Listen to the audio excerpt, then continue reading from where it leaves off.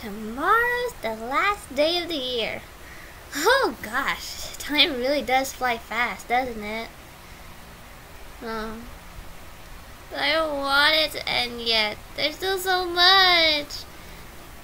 There's like so many people I've met and so many things that happened to me. I can't just leave it all. But I have to. Because I can't go back to every single day because a day only happens once every year and all the events happens once as well. What's the point of being sad? I, I, it's going to be 2023 soon. It's not like you're going to have changes. But still, it's not like uh, things are going wrong with me. Again, I'm fine. Totally fine. But still though, I love 2022. But I have to see it end. A year only happens once, right? And every single day.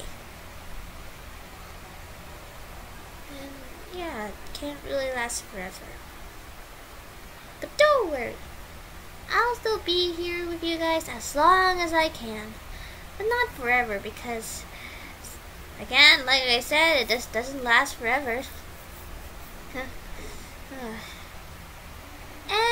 Thank you all so much for being with me since the start of my channel. And I really hope that things will be better in 2023. And also, for all the people out there that I met, I would like to say thank you very much. I'll never forget the day I first met you guys. You've changed me to be happy and grateful as I was. Or I am now, or currently.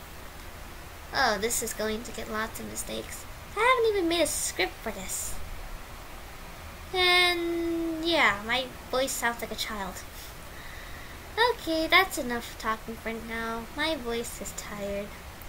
Again, happy advanced new year and hoping that everything will be good in 2023. See y'all. Bye bye.